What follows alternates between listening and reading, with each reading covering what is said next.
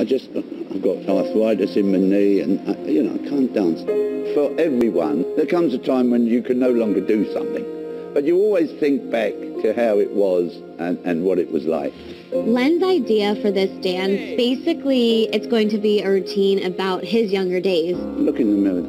Yeah, I Yeah. can see it. I see it. Derek is going to be me, only 20 times better and 50 years younger.